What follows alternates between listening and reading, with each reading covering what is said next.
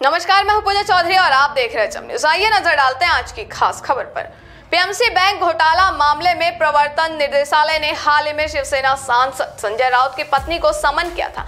संजय राउत की पत्नी वर्षा पर बैंक से कुछ लोन लेने का आरोप था, लेकिन अब दावा किया गया है कि जो 55 लाख उन्होंने लिए थे, वो अब वापस लौटा दिए हैं।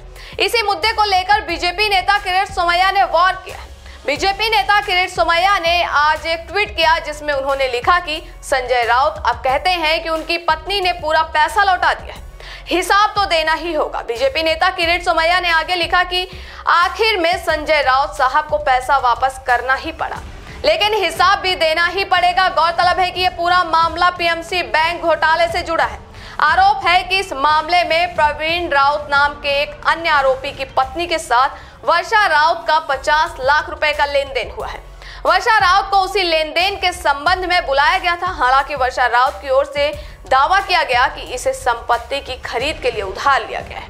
ईडी ने पीएमसी बैंक घोटाला मामले में जाँच में शामिल होने के लिए संजय राउत की पत्नी वर्षा को समन जारी किया था।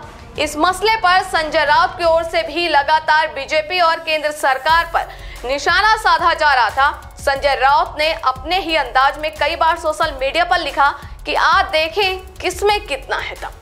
तो ये थे आज का हमारी खास खबर। इसी प्रकार की खबरों में बने रहने के लिए देखते रहिए अचम न्यूज़।